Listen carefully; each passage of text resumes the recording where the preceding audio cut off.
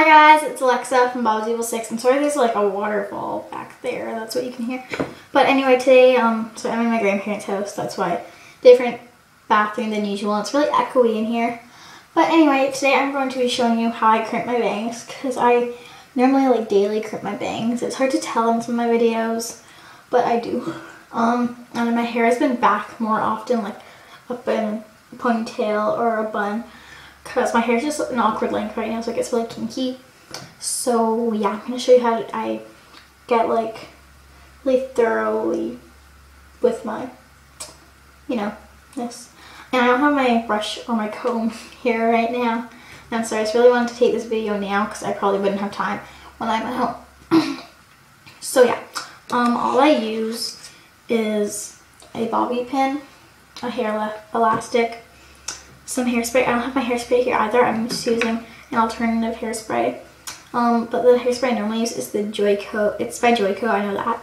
But this is just like um, the L'Oreal Play Ball Soda Sparkler.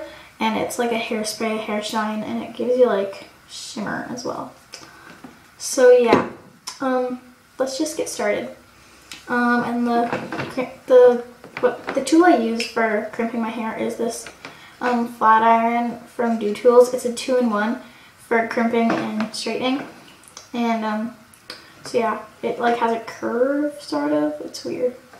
Anyway, so I normally start by taking my hair elastic and I just section my hair off and I just get the lowest section there is on my bangs which is don't make it too thin because it just kind of doesn't work well. It like crimps better when it's a bit thick but not too thick. Like, yeah. So this little layer here. And I'm just going to use the elastic to tie this stuff up here.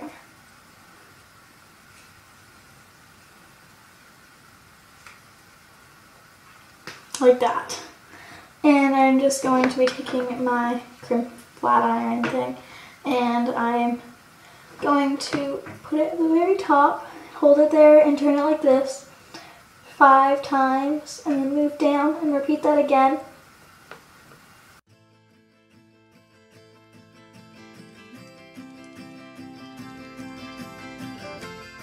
Okay, um, it kind of gets a little like out like that so just kind of fix that a bit.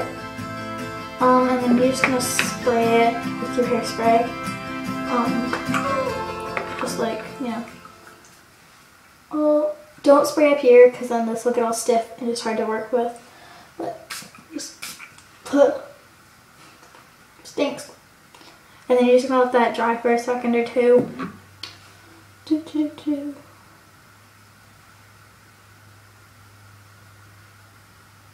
See, the one I'm using isn't very stiffening or anything. It doesn't have much of a hold, but it gets the job done. And then you're just going to take your bobby pin once it's completely dry and you're just going to gently pin it back here like that. And then you're going to take another layer of your hair like so. Oh my goodness. There. There. And then just tie that up again.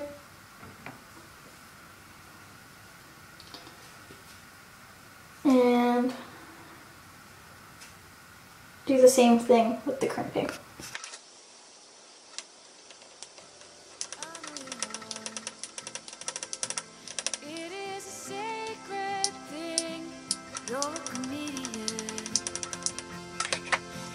And then you're just going to spray it again. This one isn't like, you know, fluent hairspray, but it smells like it. And you're just to let that dry uh, for a second. There we go. And then you're just to take the bobby pin out from here. And don't really worry about it because it's like nice and dry and stiff already. But um, you're just to pin it again. Like so. And then you're just gonna keep repeating that until you get your whole head done.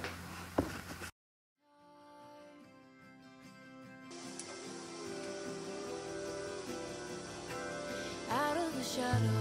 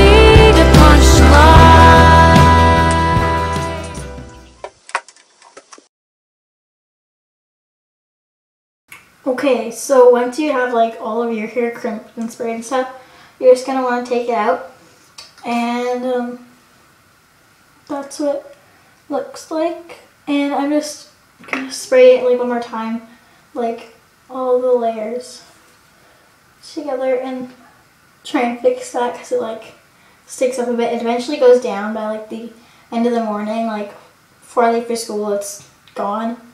But just spray it all like so. But sounds awful. So, get all up in there. And yeah. The last step is like once your hairspray is all dried, just kind of like peel it apart because sometimes like one like stiff board of hair. So you're just gonna pick it all apart. So it still has like the crimps, but it isn't like a bunch of layers.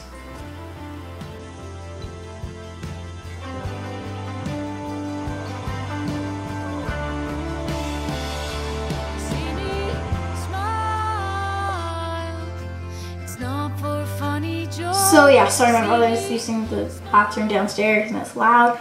But um anyway, as I already said, like it may be a little spiky here. If you like that, that's good. But some people won't. Um, it'll it'll like go down by like if you. I normally do my hair around like 7:40 in the morning, and by like 8:30 it's like back to normal. Well, like the flat. It, these little like spikes here are gone basically. But if you like that, then I don't know. You can work with it, like spray it a bit more or something, or a gel. So yeah, um, I hope you guys enjoyed. That was my whole tutorial on how I get my crimps daily. I'm just gonna unplug that so I don't start a fire. But anyway, I hope you guys enjoyed. Don't forget to rate, comment, and subscribe. Bye guys.